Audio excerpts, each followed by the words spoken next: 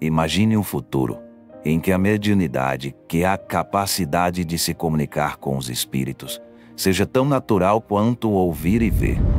As pessoas seriam como antenas parabólicas sempre ligadas, capazes de se comunicar com espíritos e com outras pessoas na Terra sem a necessidade de intermediários.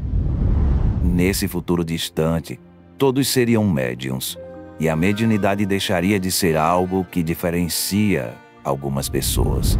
É como perguntar a um médico se todos os homens têm a capacidade de ter filhos. Claro, todos têm essa capacidade potencial, mas ela se manifesta em momentos diferentes na vida de cada um.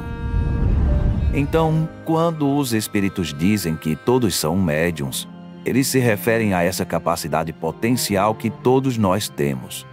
Alguns vão manifestar sua mediunidade em futuras vidas ou em outras dimensões espirituais.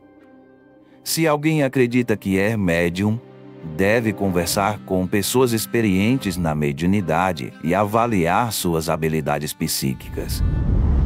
Mas forçar o desenvolvimento da mediunidade não é aconselhável, porque é algo que deve se desenvolver naturalmente. É como comparar alguém com aptidão natural para a música a alguém que tenta aprender a tocar um instrumento.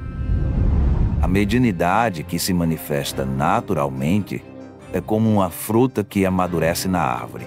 Tem um sabor diferente da que é forçada a amadurecer em uma estufa.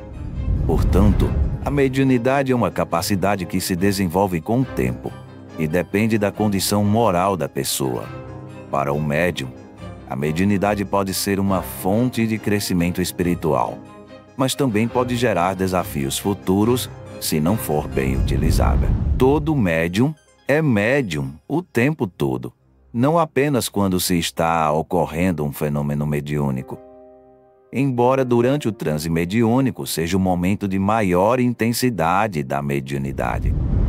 A mediunidade pode ser bem evidente quando o médium incorpora espíritos, escreve mensagens psicografadas, realiza passes ou até mesmo realiza atividades artísticas sob a influência dos espíritos.